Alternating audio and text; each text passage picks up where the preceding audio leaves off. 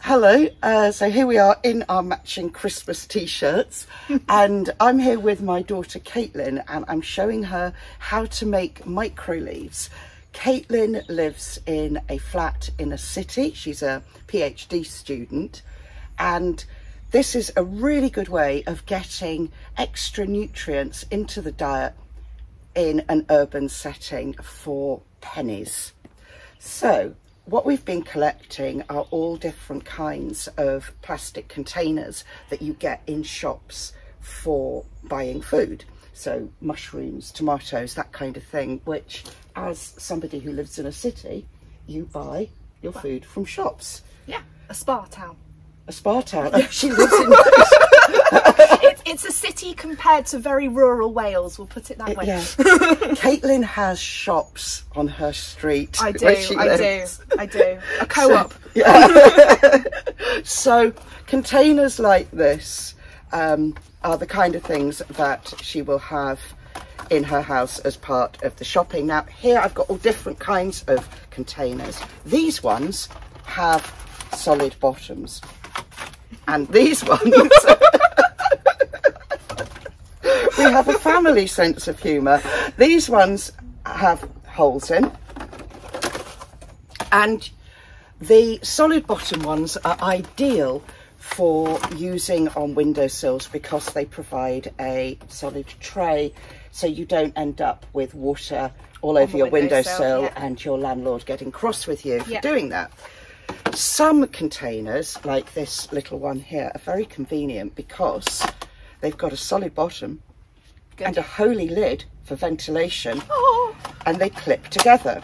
So this makes a perfect little micro leaf container. Whereas Excellent. other ones, you just kind of work out what you fancy. So you can use the solid base as the tray and then pop that on as a lid. okay. Or you can use it as a tray and then if you've got one which came with a lid like this one did, you then put that inside like that. But you're making like a little gr- mini greenhouse all of your very own. Oh, how exciting. You've got a whole new hobby now. the do. winter evenings will fly by. So, can't get it open now.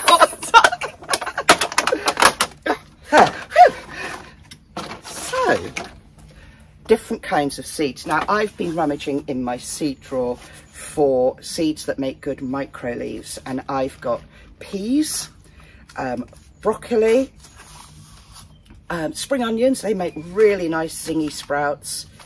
Uh, different kinds of rocket, beetroot, alfalfa, radish, that. cabbage, and also I've got in this jug here.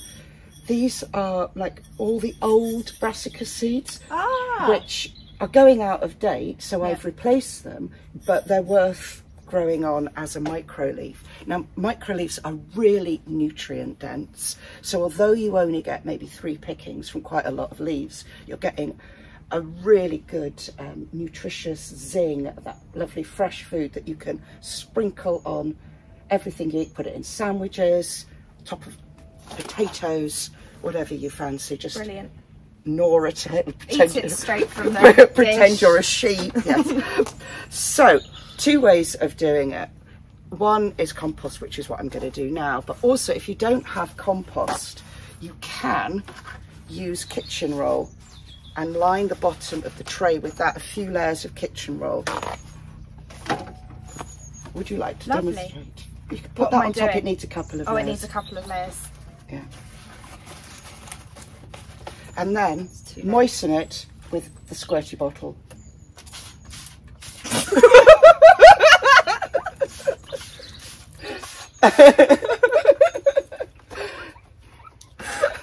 squirty bottle is better than using a jug just because then you don't flood everything. And then sprinkle on a nice thick layer.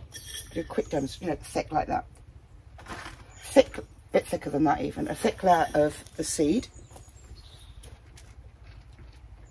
Oh, it's a bit wobbly, is it? Yeah. Just keep chucking it on. Poke it down a bit. Is that enough? Bit A more. bit more. Yeah, you want it thick like a forest. Thick like a forest. Yeah, and then That's that's fantastic. Great. And then squirt it again with your squirty bottle.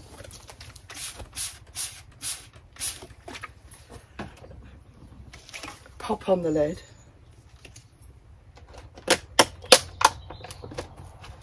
And there you are. And that one needs a tray.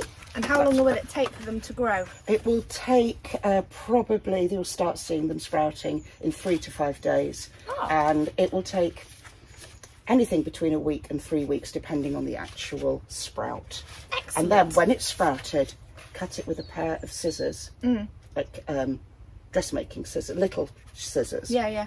Cut it off, then let it regrow. And you should get three goes. And when it's finished, Oh, you can wow. put it in the food waste composting bin from your council. Oh, fantastic. Here, I would put it in my own compost bin. And for all of the seeds, do you put a really thick layer on? Yeah. Yeah. You want it nice and thick, like a little, your own little forest. And I can use black mustard. Aha! Thank Aha. you for spotting those. so, if like Caitlin, you are not a gardener and you live in an urban situation Yes. and you're not going to have a drawer full of seeds, No, I Look. don't. I do not have a drawer of seeds. look to your spice cabinet.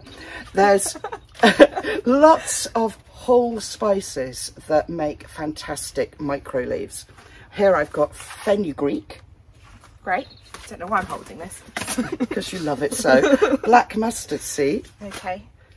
Coriander, uh, fennel is also a good one. Good. And instead of using peas that would be used for growing peas in the garden, Mm-hmm. when you're in your local shop, look for marrow fat peas. Usually they they? come in a cardboard box and it says marrow fat peas. Okay. And they make the most fantastic pea shoots. So they're Ah. like the pea shoots down here, Okay. but you're going to grow them in a little box. If you're not using the uh, kitchen roll and you've got some compost, then this is how you would make one. Should we use the little one? Because I like that. The little one's lovely. Just move that. So if you open it, then what you want to do is just put about a centimetre of compost at the bottom. Okay.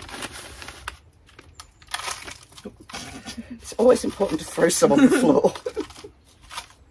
A little bit more.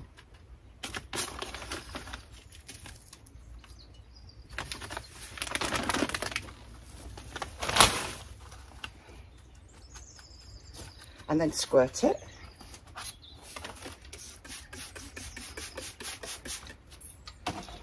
What do you fancy growing in that? Um. What about the um, fenugreek? I don't know.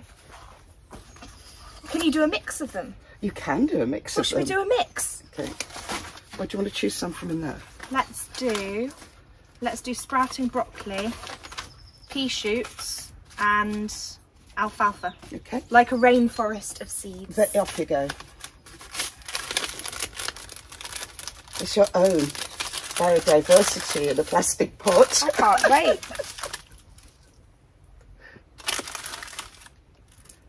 And then it's great because you can just cut it straight off if you've got a mix of seeds and you've got a salad kind of pre-mixed. Right, I've got some alfalfa, uh, some pea shoots. Oh, these are quite big. Do I need to press them into the... Yeah, just push them onto the surface a bit. How many do you think I can get away with in here? Because do they grow quite big? Well, you can see down there, can't you? So, yeah, maybe put six in. Because you want the other ones to be able to Yeah. grow through. and some little broccoli sprouts. Broccoli.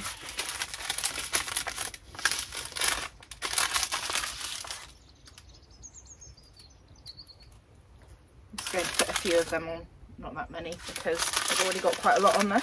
Or do I want more? No, that's fine. That's fine. And then you pop your lid on.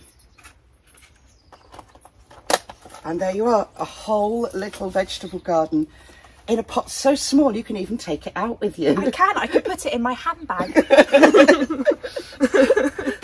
I can bring it to the pub. And I've got a portable side salad. Fantastic. so improve your health by taking your salad with you wherever you go in a Yeah. plastic tub. So I think you're onto something there. Porter salad, we can call it. Trademark. Well, yeah. you heard it here first. So, all, in all seriousness, this is a great way for people to grow healthy, nutritious, delicious salads on their windowsills in urban spaces. All you need is a bit of light and some tubs. You can, of course, use shop bought tubs, but mm. it's Can you use cardboard tubs? I was going to ask because I get lots of those from mushrooms. You know when you buy mushrooms, they will rot. They will rot. Okay, so I want to So if you used ones. a cardboard one and put it inside one of here, these, um, it will. You could actually sow the seeds onto it because Oh, it's okay. cardboard, as long as it's moist, and use it as your kind of compost base. Yeah. But you wouldn't want to put it directly on the windowsill because it will go fall all apart. soggy, and then you'll ruin the paint and Yeah. you'll get into trouble. yeah, So lovely. Well, I've learnt something new.